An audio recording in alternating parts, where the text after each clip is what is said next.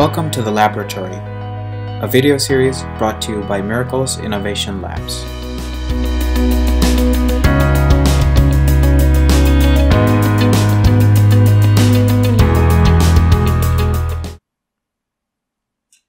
Hi, welcome to the Laboratory video series brought to you by Miracles Innovation Labs. My name is Akash and today I'll be talking about one of our newest initiatives which is Miracles Inventory Tracker, also called Mint. Mint is a Xamarin based cross platform application that works on both Android and iOS. In this video, I'll talk a bit about the business use case that governs Mint.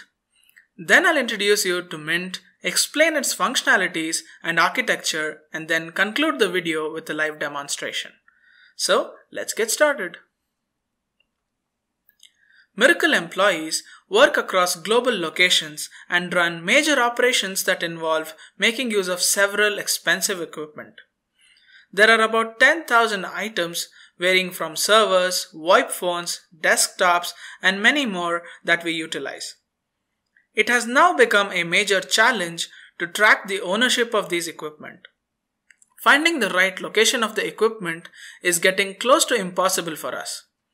In order to solve this exact same problem, we have built Mint. Mint is a cross-platform application that enables seamless tagging of expensive equipment by making use of QR codes. Mint allows administrators to add or edit item information, whereas all users can see the equipment and gain information about the history of ownership. All this by just scanning a QR code. Simple, isn't it? A user can scan a QR code and get information about an item. An administrator can scan a new QR code and add an item to our digital inventory by assigning location and users. Another great feature that our app houses is termed as Infinity Push. Bulk order of equipment can be added into our digital inventory in a matter of seconds by continuously scanning for items. This will surely make our life very simple and help us find the right equipment at the right time. Mint relies exclusively on QR codes. Every QR code represents a single item in our digital inventory. Our application backend sits on Azure Functions, which is serverless. Azure Functions make use of Azure Blob Storage for persisting pictures and Cosmos DB for storing items in a NoSQL database. Orchestration across Blob Storage and Cosmos DB is handled by the Azure function itself.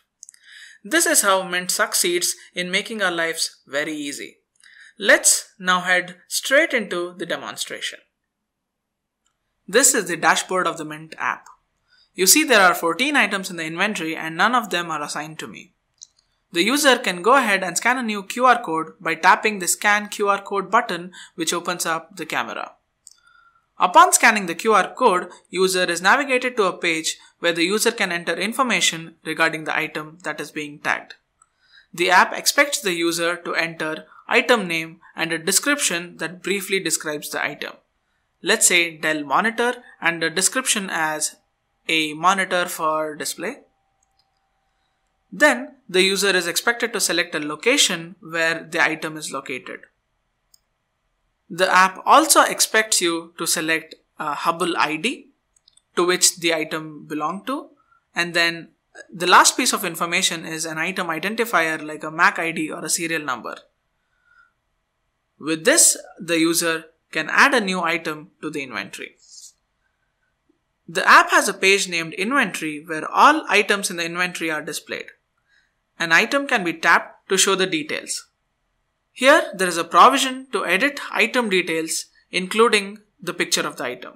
User can either upload a picture by clicking a picture or by selecting an existing one from the gallery.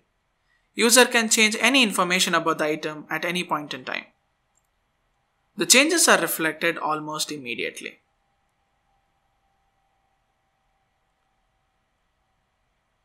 You see, the item is now updated. While viewing an item, user can get information about the person whom the item is assigned to.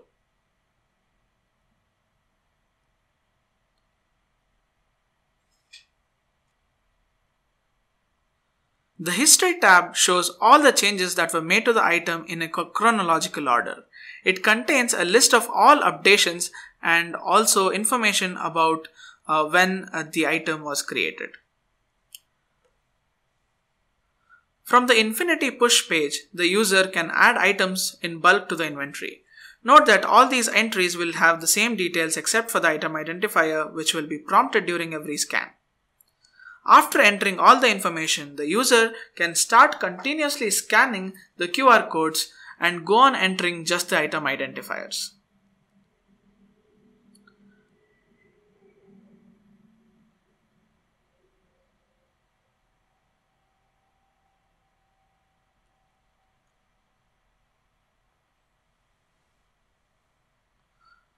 User can continue scanning for QR codes as long as he has some QR codes remaining. He can exit when the work is done. On every scan, scan an item identifier uh, information is supposed to be entered. And again, all changes are reflected almost immediately.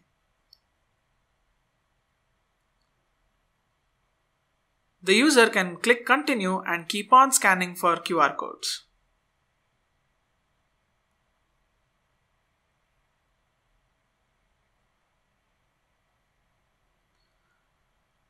The user can exit at any point in time.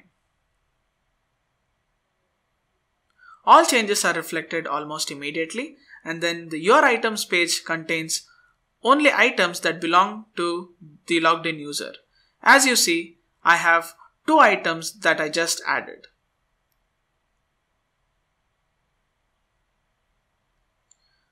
The same is also reflected in the dashboard as well.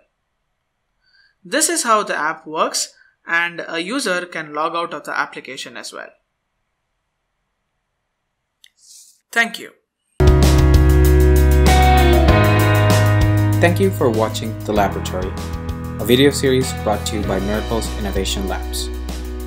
For more on innovation, please visit miraclesoft.com slash thelabs.